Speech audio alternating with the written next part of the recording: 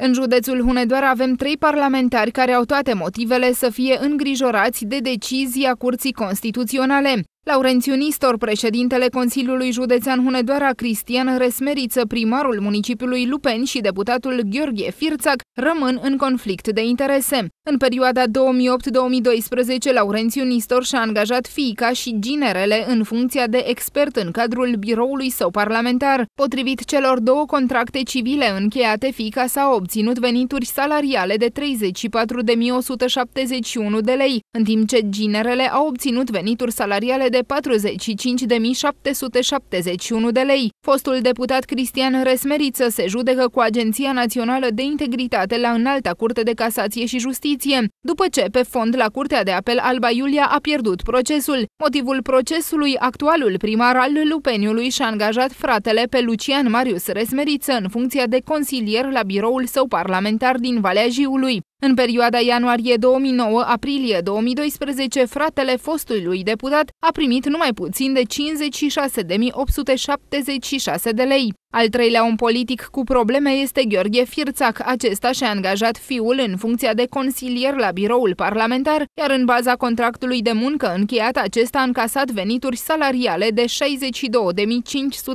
de lei. În vreme ce Laurențiu Nistor și Cristian Resmediță nu au putut fi contactați, Gheorghe Firțac a declarat pentru ziarul Hunedoreanului că este conformă cu realitatea decizia Curții Constituționale. Am sunat în legătură cu hotărârea celor de la Curtea Constituțională care au decis că angajarea rudelor este neconstituțională. Cum comentați dumneavoastră decizia lor? Păi cum să comentez decizia lor? Este o decizie conformă cu realitatea. Și atunci ce veți face mai departe? Adică? Nu știu, dumneavoastră nu v-ați angajat fiul pe funcția de consilier parlamentar, mai candidați? Încă nu m-am hotărât. O să vedem dacă voi candida sau nu voi candida.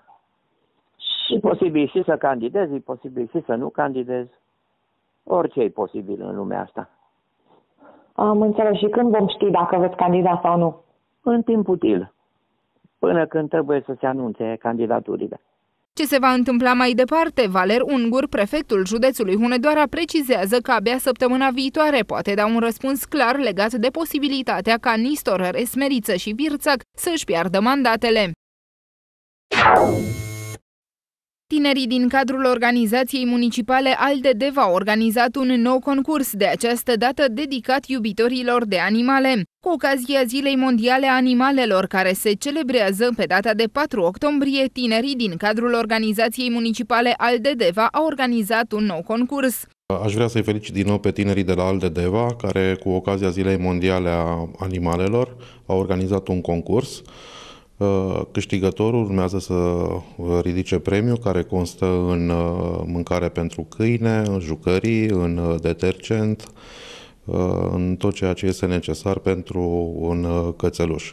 Eu aș vrea să-l felicit pe câștigător, să le mulțumesc tuturor celor care au participat la acest concurs Participanții au trebuit să posteze pe pagina de Facebook a evenimentului o poză cu animalul lor de companie, iar fotografia care a primit cele mai multe like-uri a fost desemnată câștigătoare.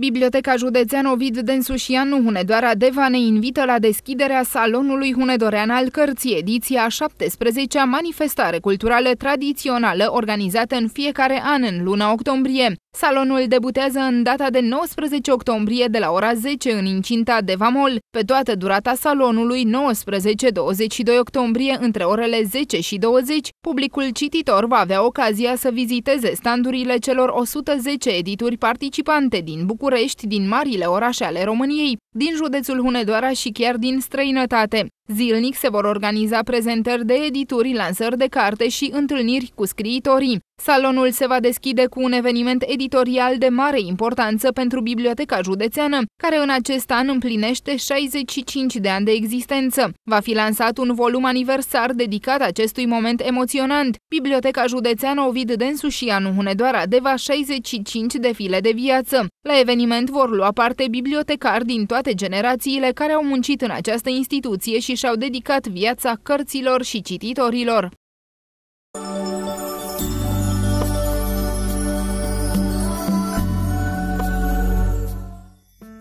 La noapte cerul va fi mai mult acoperit de nori și este posibil să cadă precipitații. Minus un grad se va înregistra la Petroșani, Petrila și Uricani. La Hațeg vor fi minimum 0 grade Celsius, iar la Hunedoara, Orăștie, Gioagiu, Simeria și Brad temperaturile vor coborâ până la 2 grade Celsius.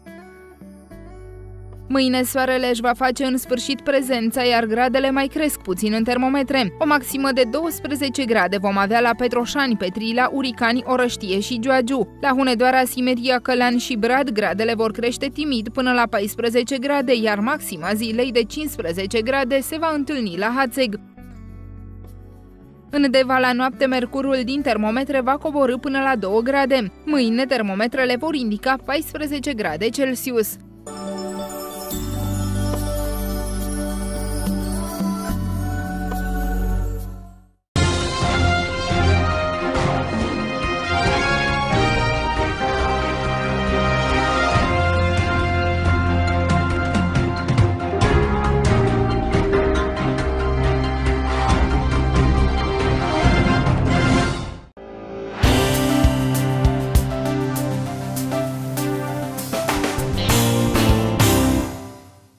Lorena Beauty Salon. Frumusețea trezește sufletul la viață.